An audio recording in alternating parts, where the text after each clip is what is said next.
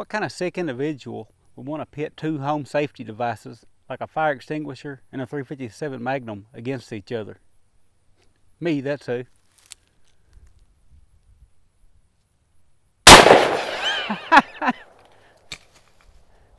wow.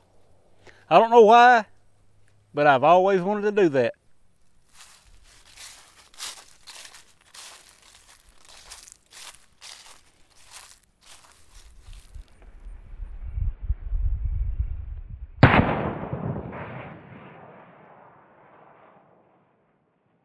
over